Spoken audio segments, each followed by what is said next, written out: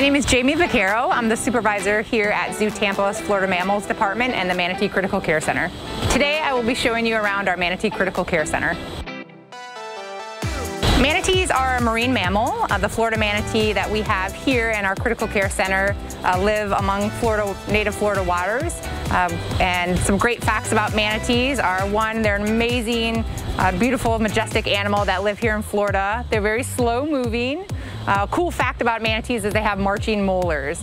Uh, marching molars are, for a manatee, means they can replace their teeth throughout their entire lifetime. They eat a lot of abrasive uh, plants and aquatic plants out in the wild. So as their teeth wear down, their teeth march forward, fall out, and they grow new ones. And that's something they can replace their entire life.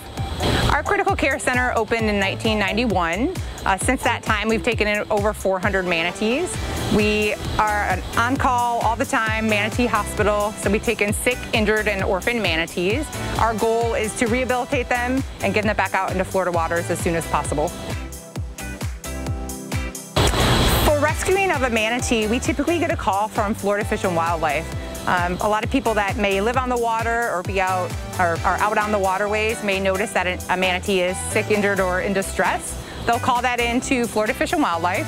Fish and Wildlife will go out and try to find the manatee. Sometimes that's pretty difficult. Manatees are very resilient animals, and even though they're injured, they'll kind of keep moving. So Fish and Wildlife have to locate that animal, and then they'll deem whether it needs medical attention.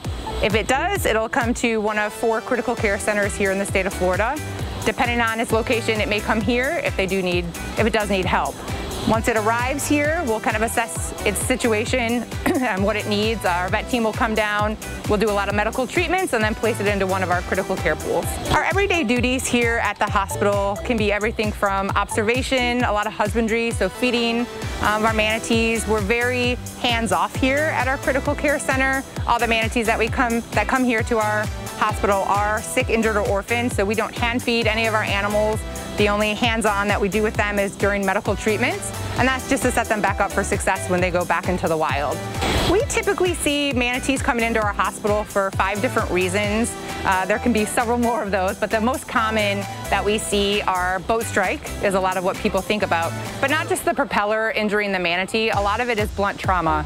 So the impact of a watercraft going across a manatee's back can cause severe damage not only to their ribs, uh, but it can puncture their lung.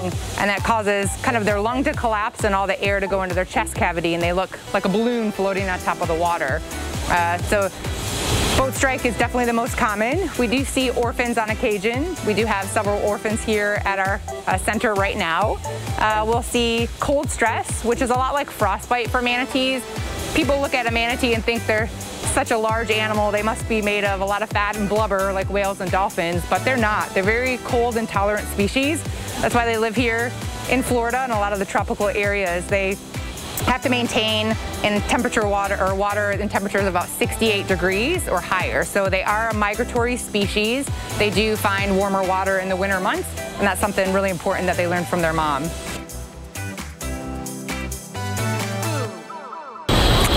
Some more information on manatees, you can definitely visit our website at Zoo Tampa. You'll find a lot of information, not just about manatees, but other species and how to live here with them in the Florida waters.